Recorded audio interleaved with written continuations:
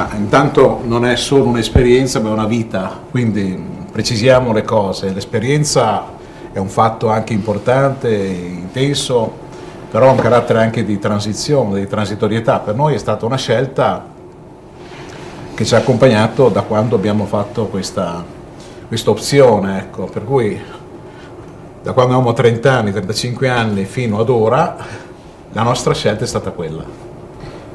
E, ed è una scelta senza pentimento, cioè non è che da questo punto di vista eh, ci siamo sentiti in qualche modo in difficoltà nel senso di un pentimento, potevo prendere un'altra strada. No, dall'interno che abbiamo vissuto nei vari ambienti di lavoro, eh, diciamo che la scelta l'abbiamo ritenuta e la riteniamo tuttora pienamente valida. Quando poi assistiamo a fenomeni tipo quello di, di, Torino, per cui sette operai sono morti in quelle condizioni lì, questo ci ha riconfermato che andare in quegli ambienti, in un modo, in un altro, eccetera, è stata un'opzione fondamentale e eh, giusta. E quindi purtroppo anche la condizione operaia, attualmente invisibile, però reale e realisticamente ancora presente su milioni di persone, ci conferma che l'essere con loro e come loro è stata una scelta buona e su questo punto non ci piove. Sotto il profilo del Ministero, ehm, per noi è stata la scelta di un Ministero gratuito, cioè un Ministero che non si fa pagare, che non fruisce eh, dell'8 per 1000, che quindi eh, attraverso il lavoro, prima la pensione, poi eh, trova un suo autofinanziamento senza dover necessariamente passare attraverso forme di monetizzazione. E questo per noi rappresenta non soltanto un fatto contingente che è accaduto ad alcuni preti, ma rappresenta un qualcosa di importante per tutta la Chiesa, perché il messaggio cristiano è per essenza gratuità, e in qualche modo i messaggeri dovrebbero rappresentare, con tutti i limiti della vita, d'accordo, ma rappresentare questa dimensione di assoluta gratuità.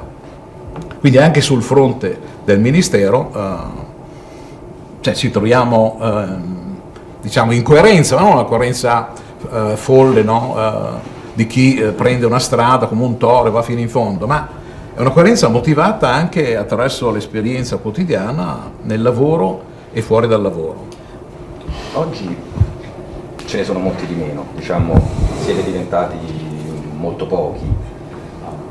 Come mai è un peccato? Ma guardi, qui eh, ci serve da affrontare eh, la tematica del prete, cioè oggi chi diventa prete sono molto pochi.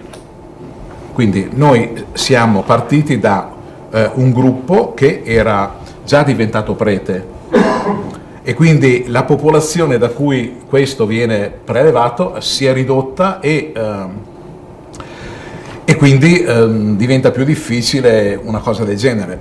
È cambiato moltissimo anche il mondo del lavoro, per cui vi sono magari certi preti anche qualche informazione che ci arriva talvolta, che lavora per conto suo, ma mentre ai nostri tempi c'era anche un'organizzazione, un essere dentro eh, la classe operaia, nelle sue strutture, nei, nel sindacato, eccetera, oggi il carattere è molto più frammentario, molto più eh, individuale, molto, cioè molto meno, cioè è proprio anche l'evoluzione sociale ed economica che, che, ha gettato in queste condizioni di, di solitudine, se vogliamo.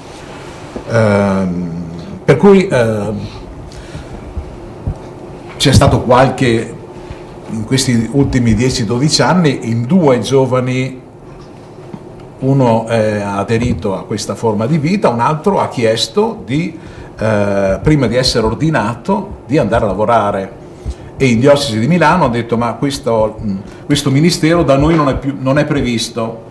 E allora eh, lui ha eh, incontrato un vescovo che a queste condizioni comunque l'ha ordinato e lui attualmente lavora in una cooperativa eh, nel Biellese e durante la mattina fa l'operatore ecologico, i rifiuti e compagnia, al pomeriggio fa il lavoro da prete in un oratorio, comunque in una parrocchia, però sono, chiaramente sono individualità. Ecco. E la rivista? La rivista può servire, perché la rivista? Ma la rivista è nata perché a un certo punto si pensava di avere delle cose da dire. In precedenza c'era un bollettino che raccoglieva le nostre riflessioni, contributi, convegni e compagnia. E vent'anni fa proprio Don Sirio Politi, uno dei primi per gli operai in Italia di Viareggio, ha, ha lanciato questa ipotesi e noi l'abbiamo raccolta, soprattutto qui in Lombardia è stata raccolta e, e quindi da vent'anni c'è questa rivista che esce con due o tre quaderni, insomma in totale saranno 300-350 pagine in un anno. E quindi mh, racconta uh, un po' le nostre storie, le nostre riflessioni, dà spazio a quello che sui giornali realmente troviamo, eh, spazio alla, alla, soggettività anche di chi lavora, insomma, no? Con, abbiamo messo su anche le nostre vite, i nostri racconti, i nostri incontri, eh, dibattiamo anche tematiche sulla giustizia, che oggi è una parola che nessuno usa più se non per indicare il ministro Mastella o cose del genere, no? quindi la Chiesa dei poveri che è stato un, una cosa importante al tempo del Concilio che ora è sparito totalmente dalla circolazione anche come parola, cioè riprendiamo alcune parole fondamentali che per noi non sono frutto di una stagione ma rappresentano qualcosa di permanente eh, per il credente e non solo per il credente e le riprendiamo, le eh, rivitalizziamo per quanto è possibile insomma.